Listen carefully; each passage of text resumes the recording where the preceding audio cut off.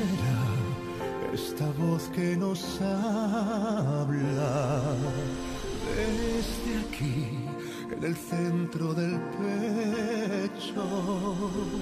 ¿Qué será esto que me provoca? Y también me ilusiona y me atrapa.